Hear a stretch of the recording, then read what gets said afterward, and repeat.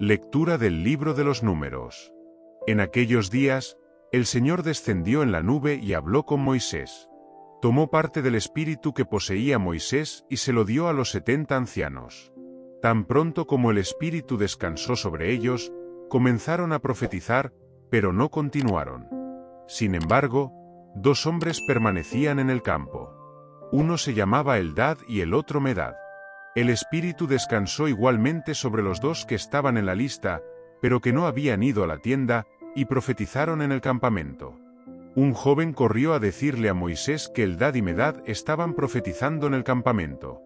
Josué, hijo de Nan, ayudante de Moisés desde su juventud, dijo, Moisés, Señor mío, ordena que callen. Moisés respondió, ¿Tienes celos de mí?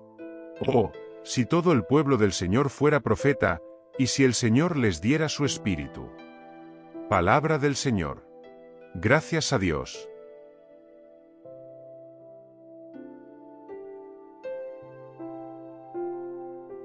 Lectura de la Carta de Santiago. Y ahora, ustedes, ricos, lloren y gimen por las desgracias que están por sobrevenirles. Tu riqueza se está pudriendo y tu ropa está apolillada. Tu oro y tu plata están oxidados, y su óxido servirá de testimonio contra ti y devorará tu carne como fuego. Habéis acumulado tesoros en los últimos días.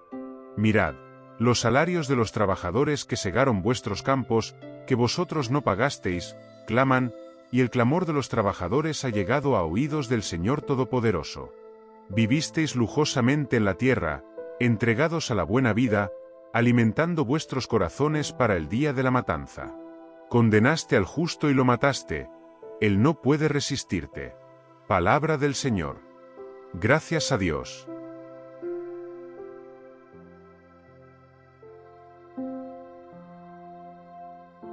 Proclamación del Evangelio de Jesucristo según San Marcos. Gloria a ti, Señor. En aquel tiempo, Juan dijo a Jesús, Maestro, vimos a un hombre que echaba fuera demonios en tu nombre. Pero se lo prohibimos, porque no nos sigue. Jesús dijo, No lo prohibáis, porque nadie hace milagros en mi nombre y luego habla mal de mí. El que no está contra nosotros, está por nosotros. En verdad os digo, Cualquiera que os dé a beber un vaso de agua, porque eres de Cristo, no se irá sin recibir su recompensa. Y si alguno escandaliza a uno de estos pequeños que creen, más le valdría ser arrojado al mar con una piedra de molino atada al cuello, si tu mano te lo causa. Al pecar, córtatelo. Es mejor entrar en la vida sin una de tus manos, que, teniendo las dos, ir al infierno, al fuego que nunca se apaga. Si tu pie te lleva al pecado, córtatelo, que, teniendo ambos, ser echado al infierno. Si tu ojo te hace pecar, sácatelo. Es mejor entrar con un ojo en el reino de Dios, que teniendo dos, ser echado al infierno. Su gusano no muere, y el fuego no se apaga. Palabra de salvación, gloria a ti, Señor.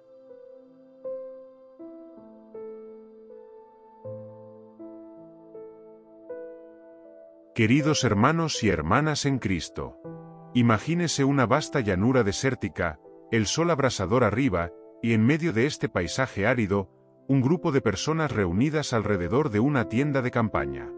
De repente, una nube desciende y envuelve la tienda, y sucede algo extraordinario. El Espíritu de Dios se derrama sobre setenta ancianos, y ellos comienzan a profetizar. Esta escena de la primera lectura del libro de números nos invita a reflexionar sobre la generosidad e imprevisibilidad del Espíritu de Dios. Moisés, cargado con la carga del liderazgo, recibe ayuda divina en la forma de estos setenta ancianos ungidos por el Espíritu. Pero lo fascinante es que el Espíritu no se limita solo a los presentes en la tienda. Dos hombres, Eldad y Medad, que permanecieron en el campamento, también reciben el Espíritu y comienzan a profetizar. Este pasaje nos recuerda que el Espíritu de Dios no puede limitarse a nuestras expectativas o estructuras humanas. Sopla donde quiere, como más tarde dirá Jesús a Nicodemo. Es un poderoso recordatorio de que Dios a menudo trabaja fuera de nuestras cajas cuidadosamente construidas, sorprendiéndonos con su gracia en lugares y personas inesperados. Pasando a la segunda lectura, nos encontramos con las duras palabras de Santiago dirigidas a los ricos. He aquí, el salario de los trabajadores que segaron vuestros campos, y que vosotros retuvisteis, claman, y los gritos de los segadores han llegado a oídos del Señor de los ejércitos. ¡Qué acusación tan poderosa! Tiago aborda un tema que lamentablemente sigue siendo relevante hoy en día, la injusticia económica. Condena a quienes acumulan riquezas a costa del trabajo y el sufrimiento de otros. Este no es solo un problema económico, sino profundamente espiritual. Santiago nos recuerda que nuestras acciones económicas tienen consecuencias morales y espirituales. Esta lectura nos desafía a examinar nuestras propias vidas. ¿Cómo utilizamos los recursos que Dios nos ha confiado? ¿Estamos contribuyendo a un sistema que explota a los vulnerables o buscamos activamente la justicia y la equidad? Santiago nos recuerda que Dios escucha los gritos de los oprimidos y que seremos responsables de nuestras decisiones. Finalmente, llegamos al Evangelio, donde encontramos una serie de enseñanzas de Jesús que, a primera vista, pueden parecer desconectadas, pero en realidad están profundamente interconectadas. Primero, tenemos el incidente del exorcista desconocido. Los discípulos, celosos de su posición privilegiada, intentan impedir que alguien que no forma parte de su grupo expulse demonios en el nombre de Jesús. Pero Jesús los reprende, diciendo, no se lo prohibáis, porque no hay nadie que pueda hacer un milagro en mi nombre y luego hablar mal de mí. Este episodio se hace eco de la lectura de números. Así como el Espíritu se derramó sobre el dad y medad fuera de la tienda, aquí Jesús afirma que su poder y autoridad no se limitan a un grupo selecto. Es un llamado a la humildad y la apertura, reconociendo que Dios puede y trabajará a través de canales que inicialmente quizás no reconozcamos o aprobemos. Luego Jesús hace una serie de fuertes declaraciones sobre el escándalo y la tentación. Si alguno hace tropezar a uno de estos pequeños que creen en mí, más le valdría que le colgaran al cuello una piedra de molino y lo arrojaran al mar. ¡Qué imagen tan vívida e inquietante! Jesús está enfatizando la gravedad del pecado, especialmente cuando nuestras acciones alejan a otros de la fe. Continúa con metáforas dramáticas sobre cortarse la mano o sacarse el ojo si esto nos lleva al pecado. Obviamente, Jesús no está abogando por la autolesión literal, sino que está usando una hipérbole para resaltar cuán seriamente debemos tratar el pecado en nuestras vidas. Entonces, ¿cómo unimos todas estas lecturas aparentemente diversas? ¿Cuál es el mensaje unificador para nosotros hoy? Creo que el tema central que une estas lecturas es el llamado a una apertura radical a la obra de Dios en nuestras vidas y en el mundo, combinado con una vigilancia igualmente radical contra todo lo que nos aleje de esa obra. Primero, estamos llamados a reconocer y celebrar la obra de Dios donde quiera que la veamos, incluso cuando ocurre fuera de nuestras estructuras familiares o cómodas. El Espíritu de Dios no se limita a nuestras iglesias, denominaciones o grupos favoritos. Él está activo en el mundo de maneras que pueden sorprendernos y desafiarnos.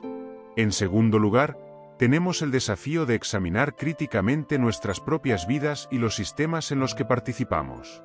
¿Estamos contribuyendo a la injusticia y la opresión, aunque sea indirectamente? ¿Cómo podemos usar nuestros recursos, nuestro tiempo y nuestros talentos para promover la justicia y la equidad que Dios desea?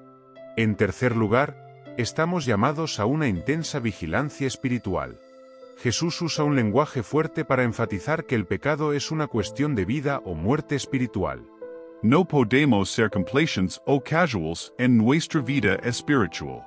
Necesitamos estar dispuestos a tomar decisiones y sacrificios difíciles para permanecer fieles a Dios. Finalmente, se nos recuerda nuestra responsabilidad mutua. Nuestras acciones y elecciones no solo nos afectan a nosotros mismos, sino que pueden acercar o alejar a otros de Dios. Tenemos la responsabilidad sagrada de vivir de una manera que apunte a Cristo, especialmente hacia aquellos que son más vulnerables en la fe. Mis queridos hermanos y hermanas, que hoy salgamos de aquí con el corazón abierto a la maravillosa obra de Dios en nuestro mundo. Que tengamos el coraje de examinar nuestras vidas y hacer los cambios necesarios para alinearnos más plenamente con la voluntad de Dios. que estemos atentos al pecado en nuestras propias vidas y que seamos compasivos para ayudar a otros en sus luchas. Y, sobre todo, que nunca olvidemos el inmenso amor y la abundante gracia de Dios. Es este amor el que nos permite vivir una vida de apertura, justicia y santidad. Es este amor el que nos sostiene cuando el viaje se vuelve difícil. Y es este amor el que, en última instancia, traerá la curación y la restauración que nuestro mundo tan desesperadamente necesita. Que el Dios de toda gracia, que os llamó a su gloria eterna en Cristo, después de haber sufrido un poco de tiempo, os perfeccione, confirme, fortalezca y establezca. A Él sea el dominio por los siglos de los siglos. Amén.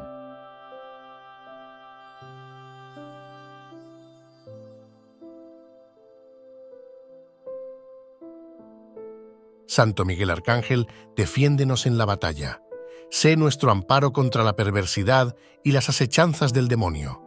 Reprímale Dios, pedimos suplicantes, y tú, príncipe de la milicia celestial, arroja al infierno con el divino poder, a Satanás y a los demás espíritus malignos que andan dispersos por el mundo para la perdición de las almas. Amén.